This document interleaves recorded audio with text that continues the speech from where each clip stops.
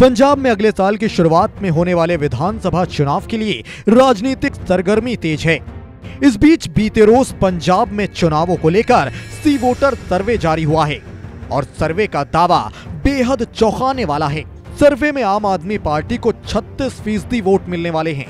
कांग्रेस को 32 फ़ीसदी, अकाली दल को 22 फ़ीसदी, बीजेपी को 4 प्रतिशत और अन्य को 6 प्रतिशत वोट मिलने का दावा किया गया है।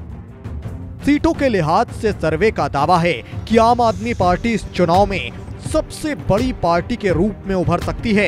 आपको ये मालूम हो कि फ़िलहाल आप पंजाब में मुख्य विपक्षी पार्टी है। अब सर्वे का दावा है कि आम आदमी पार्टी पंजाब में सरकार भी बना सकती है। पंजाब विधानसभा की 117 सीटें हैं। आपको उनचास से 55 सीटें मिल सकती हैं। कांग्रेस को उनतालीस से सैतालीस सीटें एसएडी को 17 से 25 बीजेपी और अन्य को ज़ीरो से एक सीट तक मिल सकती है। पंजाब में सरकार बनाने के लिए किसी भी दल या गठबंधन को उनसठ सीटों की ज़रूरत होती है।